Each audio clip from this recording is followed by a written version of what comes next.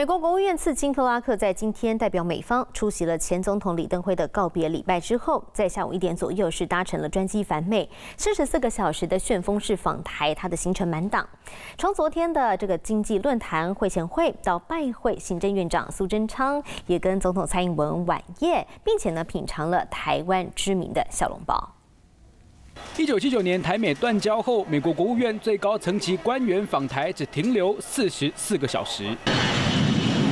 美国国务院次卿克拉克十九号下午一点零七分搭乘专机离开台北松山机场，细数这四十四个小时行程满档，却几乎不公开。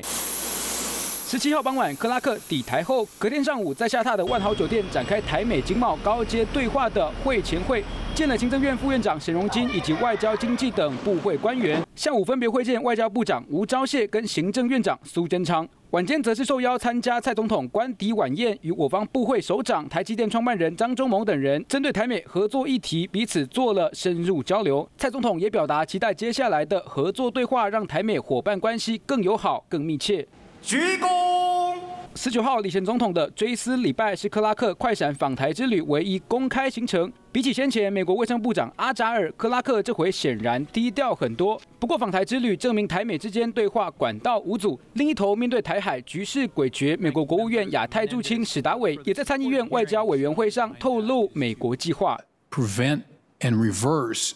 PRC's squeezing of China's international of of Taiwan's international space。眼看对岸步步进逼台美合作，为的是要防止中国势力再往外扩。华视新闻钟丽婷、李宏杰、翁伟综合报道。